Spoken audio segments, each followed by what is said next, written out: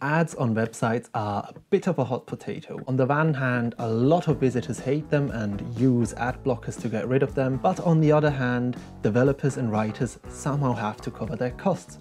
After all, a website doesn't come for free. And if you ask me, having ads on a website is a fair trade for the content you're getting. Up until very recently, I was using Google's AdSense Auto Ads. These were meant to revolutionize ads on websites. You simply enter one bit of code and machine learning would figure out where to put which ad and would give an optimal experience for both developers, writers, and visitors. But as it turned out, auto ads aren't quite there yet. They would randomly put ads inside of my headers or in between the steps on recipes or attached to galleries with no padding around them and it just made for an awful reading experience and I'm pretty sure the auto ads pushed some of my visitors in the direction of ad blockers and it also might have led to more accidental clicks. It was obvious to me that I had to rid my websites of the auto ads and return to the good old manual placement of ads AdSense ads. But I did have a few requirements though. Number one, they had to be clearly separate from all the other content on the website and if possible in their own little container. Number two, they should interrupt the reading experience as little as possible. Number three, despite all of that, I did want to get a decent amount of impressions and if possible a few clicks too. With that in mind, I set out to create these ads for my websites. And there are a ton of WordPress plugins that will automatically place ads on your website for you, but just like with the auto ads, I didn't want to trust some machine with the layout of my website. And that is where the brilliant GeneratePress elements come into play again. I wasn't looking forward to editing each individual page and post on my site. So what if I could just do it using those elements?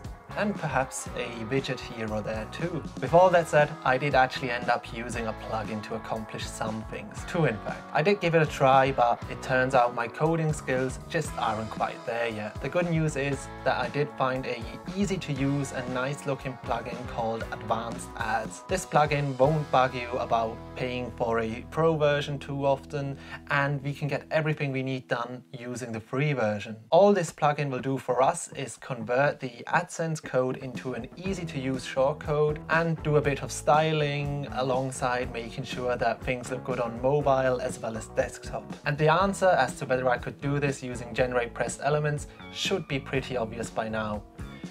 I wouldn't really make this video if it hadn't worked, would I? Alright, let's get started. Before getting into the heart of the matter, I do want to run through the prerequisites you need to follow this guide. you need an AdSense account. I will not be showing you how to do that or give you any advice on the process. It's pretty self-explanatory once you get to the website. You have to be using the WordPress theme GeneratePress. This guide will use a feature that is specific to that theme and you do have to get the paid version for that. I'll link a video on the theme somewhere up here. You have to have the plugin previously mentioned, Advanced Ads installed. I will leave some links down in the description. The second plugin you may want to install is called Q2W3 Fixed Widget.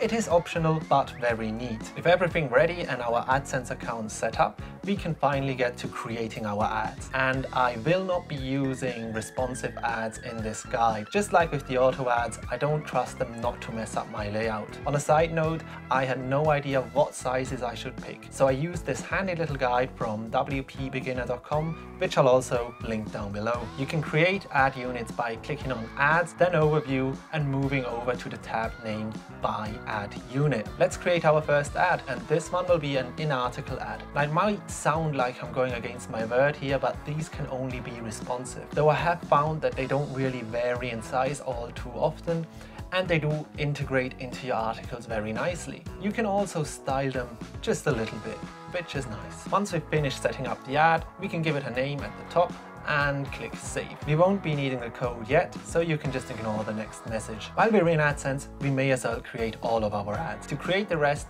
just click on the big button with the description display ads and then enter your size and you're done.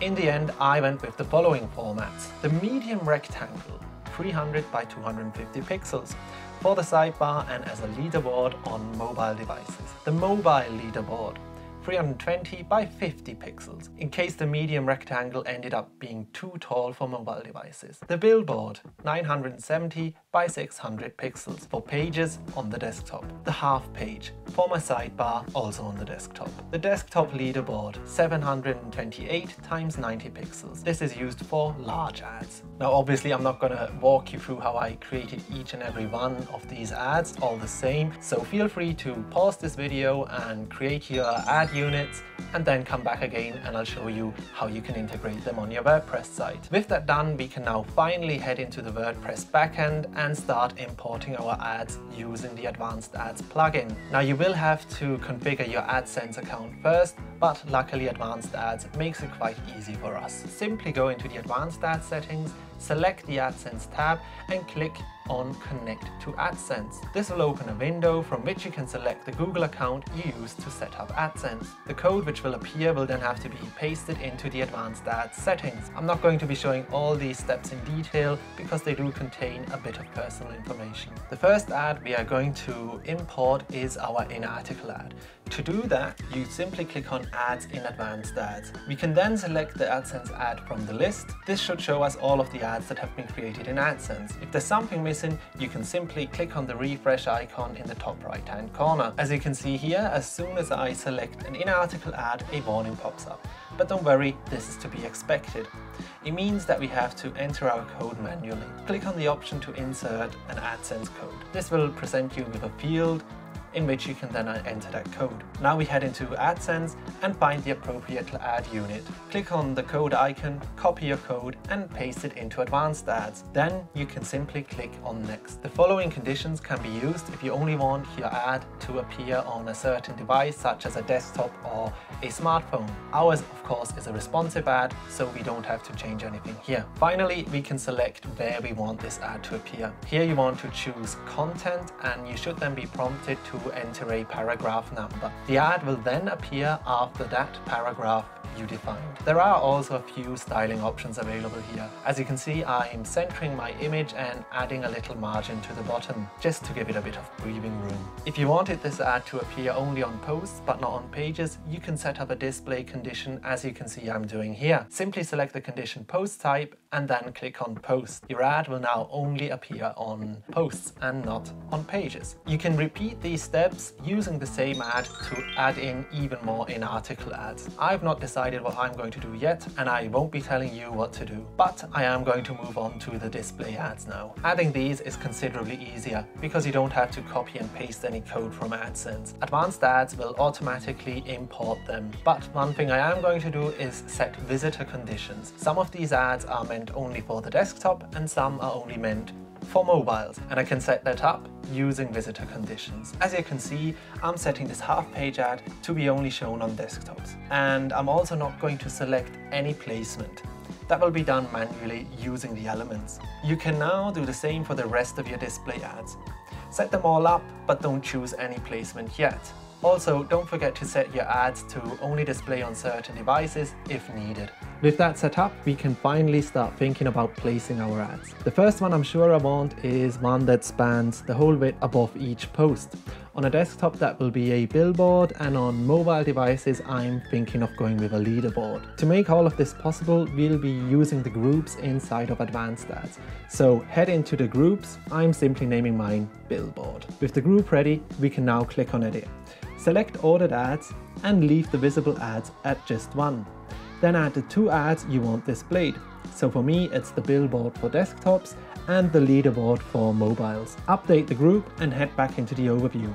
In the same place you can find the edit button, you can also find a button called usage. Click on it and copy the shortcode it presents to you. Head over to the WordPress elements and add a new one.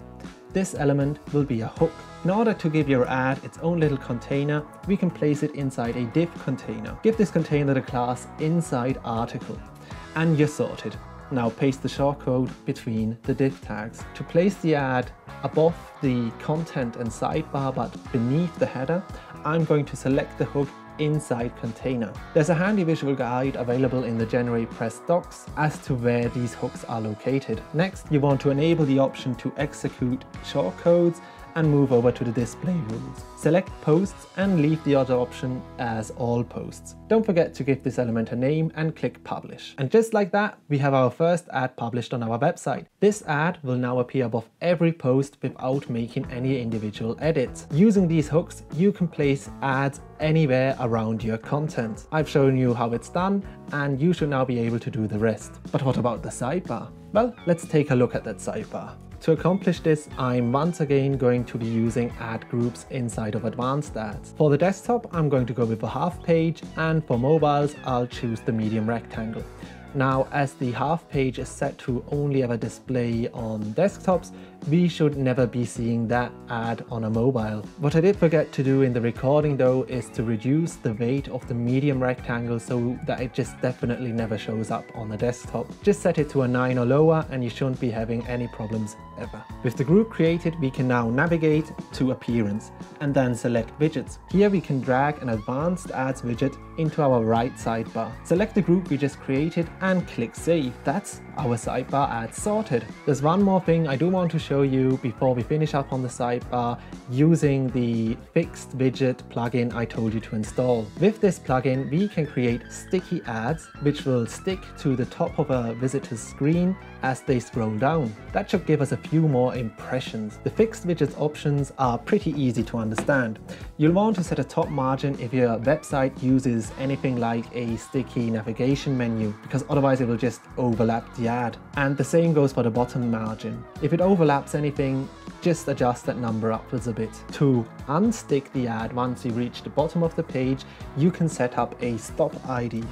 In GeneratePress, a good ID for that is called footer widgets. If you don't set this, the ad will just keep going and going and it'll overlap your footer widgets. We don't want that, do we? One more thing you might want to do is to adjust the disable width. I simply set mine to 1024, which is the breakpoint of my theme. That theme is of course GeneratePress. That setting will disable the stickiness on mobile devices. Yes, I know it's not done in the video, but that is just because I only realized it later and I've done it in the meantime. The rest of the settings, you can leave them as they were. Now, if we go back to the widget section in the WordPress backend, we can select the ad we previously placed and enable the fixed widget option at the bottom. If we now visit our page, you'll see that the ad is actually sticky at the top of your screen, but it doesn't overlap the menu. Let's hope those impressions really do start coming in, eh? One more thing, and I promise this won't take long. If you do want to place ads on your pages, you can either do that doing the hooks, just like with the posts,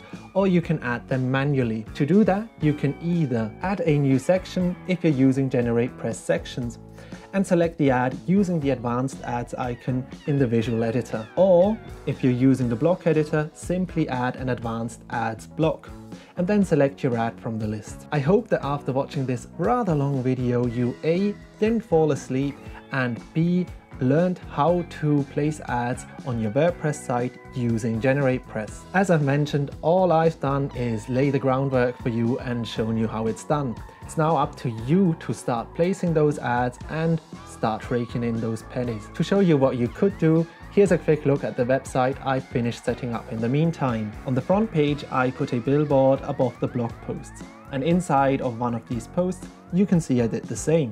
In the sidebar there's a rectangle and a half page further down and that one stays fixed when you scroll down. On the mobile side of things I replaced the leaderboards with rectangles and you can see everything scales down nicely thanks to the work we've done in advanced ads. Your website will be judged on how responsive it is so it's always a good thing to check out the layout on one of these things. At this point, I can honestly say that I've achieved the goals that I set out at the beginning of this video. And that's a nice thought to end this video on. If this video was helpful, or indeed it did help you not off, please do leave a like and consider subscribing. That's enough from me for Monday, and I'll see you in the next one. Bye!